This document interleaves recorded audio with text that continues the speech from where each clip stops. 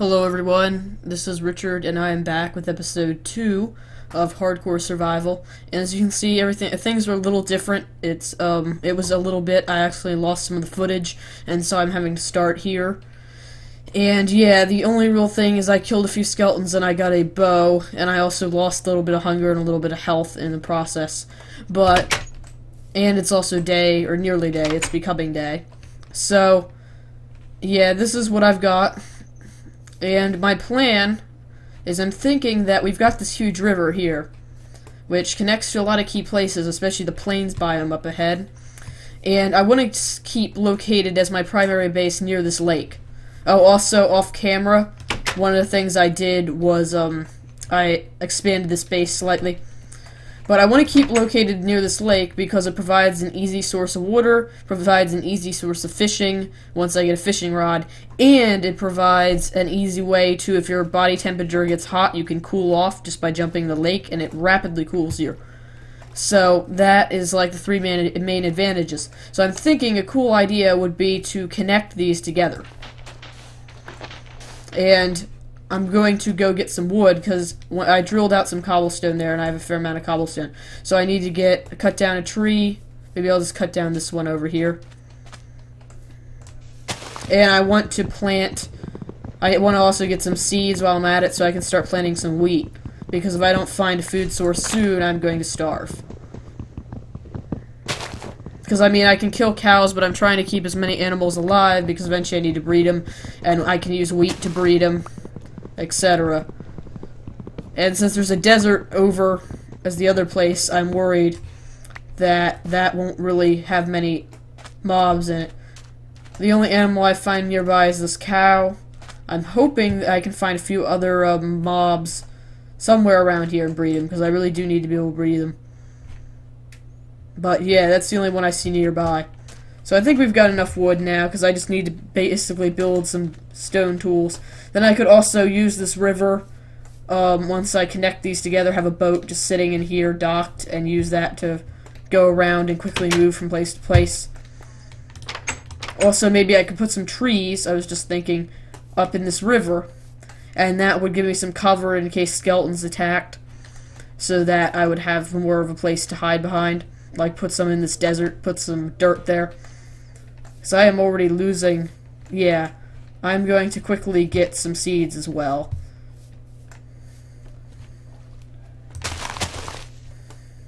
Or try to, at least. So far, I'm not really having any luck. The more I jump, the more my hunger is going to go down. The more I punch as well.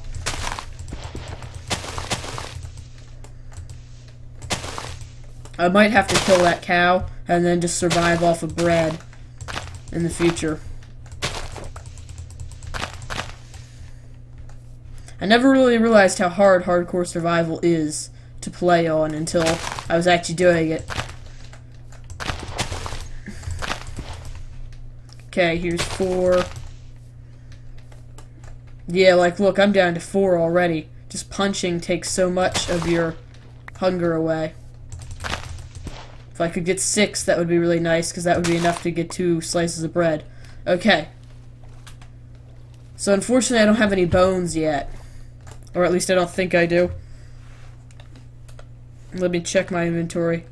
Yeah, I don't have any bones. The good thing is because I have a lake, we can just, we or because we have a lake, I can just grow this right off the lake.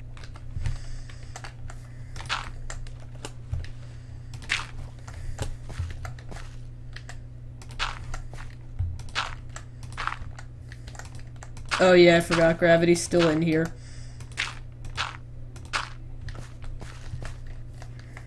Okay. And I'm gonna make a hoe real quick with the wood I have. And that should be enough.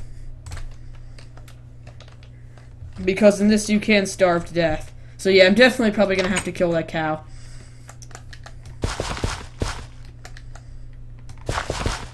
And these should be hydrated. That's actually 8, but I'll get more soon enough, hopefully. Let's hope this cow has some beef with him. Oh! Good thing I didn't trample the ones I just planted, okay.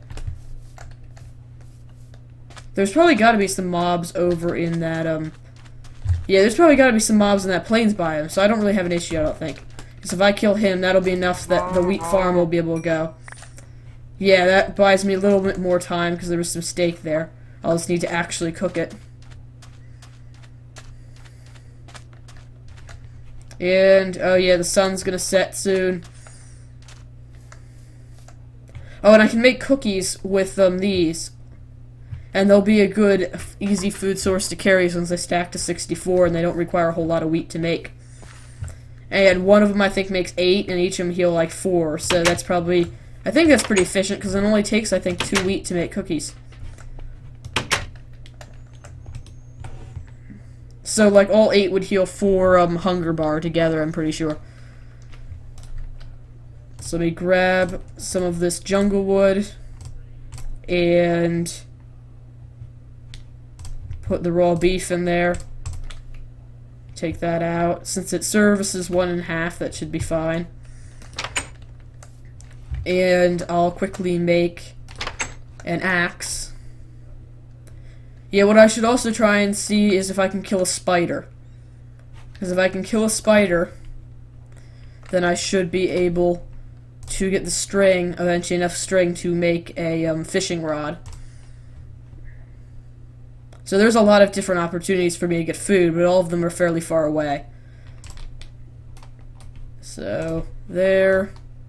Oh, I'm not going to make an axe, though I should make one, but I'm going to make a shovel. First. And then I'll make an axe.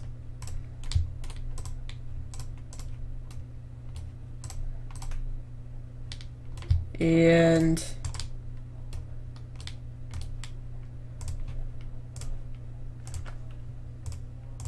I can see my water's getting low, so I'll fill up another water bottle. And that should cool me down, too. And if I fill it from the center, it doesn't come out as dirty water. So that way I don't have to waste wood purifying it. Okay, so now it's back up to 50%. And I'll just drink this one too. And fill both of them.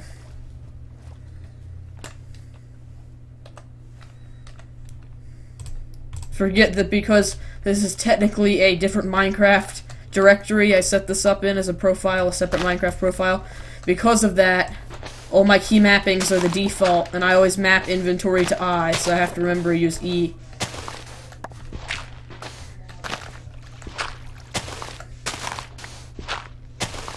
So I want to see if I can try and get these merging. And I don't have iron yet, so I can't make a bucket, so I might not be able to do it actually.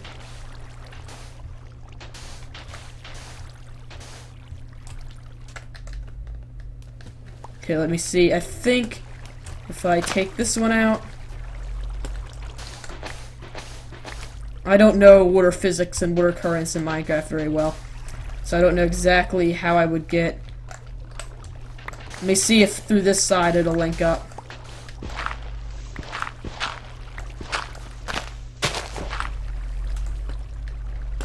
Yeah, they link up, but they're not at the full height. And since I can't make a bucket yet, I can't really fix that.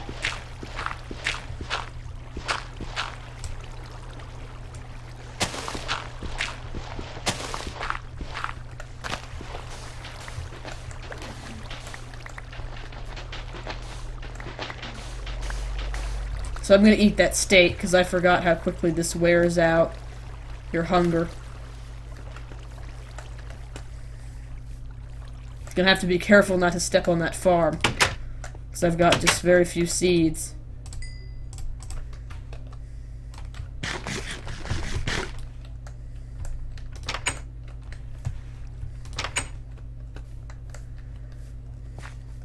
Think bread only uh, heals like one and a half, and it would take three of these, so it's probably better to use the wheat that these grow into with the um, cocoa beans to make cookies.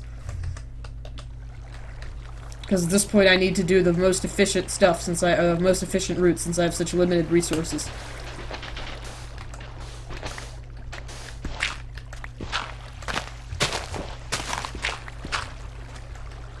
Well, it's not a route, the most efficient way. So yeah, sorry I'm not talking much in this episode, but these first few episodes of the series are going to be pretty challenging. I mean, this whole series is going to be very challenging, but especially in hardcore survival, getting started out, with, especially with a mod that makes it much harder, is pretty challenging. I wonder if I'll be able to make it as far as um, the Ender Dragon. I really doubt that, but it would be cool to see if I could. Yeah, I love the reflections in this mod. They're quite nice. Also, so yeah, just a few things. Um, this week that I'm in, this is Monday. Today's Monday, but this week I'm going is exam week for me in school, and after that I will get off. So I probably won't have many um, big videos coming out this week. Like I won't be able to get the Redstone Smart House done or video out this week, and I won't be able to get any um, bigger videos like a Richard Plays Minecraft episode out this week. But after that, I'll be on a um, winter break, and hopefully then I'll be able to get some nicer, longer, bigger episodes out. So it looks like it's getting dark again. I almost wanted to go scout out that plains before it got dark, but we can't really do that now. And I'm going to actually put a few torches outside the house, because I don't want monsters spawning, like, right on the house.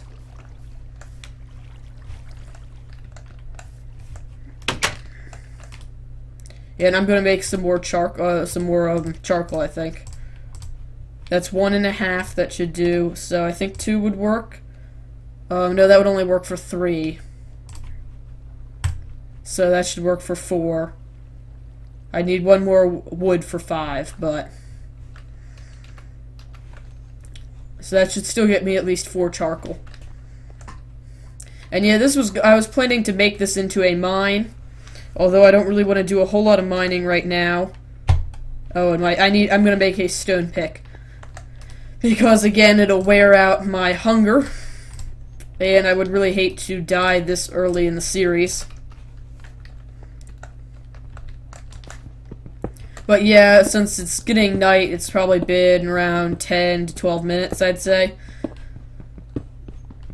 And let me just dig down a little. So because of that, I'll probably end the episode soon, because I try and keep these episodes short compared to my other content. Since my other content, I'm fine with making a little longer sometimes, like 20 minutes or so, because it's more interesting. I guess for me, it's at least more interesting, because there's a lot more cuts and there's a lot more getting done. But maybe you guys feel differently about that. That's awful dark now. I mean, it's not really dark, but I don't want to actually have monsters spawning. I think they have to be 16 blocks away from a player spawn monsters, but I don't. so I don't think that would be an issue. But I still don't want to have any unlit parts of the house. So yeah, that was right. I figured it would make exactly four. And then I can turn this last one into more sticks, which I can use two of these. So I'm just going to light this up real quick.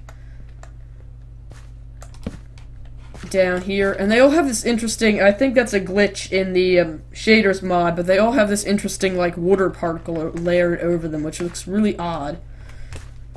So hopefully that'll be fixed eventually. Remember, I'm still running on Minecraft 1.6.4. So this is actually not generated under the new terrain system, this current terrain here. Just want to check the wheat. I see a creeper over there. And it hasn't grown really at all. So yeah, also I added this here. I think it's pretty cool. Or I didn't add this here. I just dug this part away and there were leaves under here. And I think it's pretty cool, and it'll act as an easy way to be able to see what the sky looks like, so if it becomes day, I can easily tell through the leaves and know that I'll be able to come out. Because I don't really have any windows yet. I probably could actually add a window. But I'm afraid if I do, that'll cause all of this to fall. Yeah, that will. So I'd do that when I can actually go outside. So yeah, we'll probably add windows here next episode, so it'll be easier to see outside the base. Anyway, thanks for watching. Richard out. This has been Survival Craft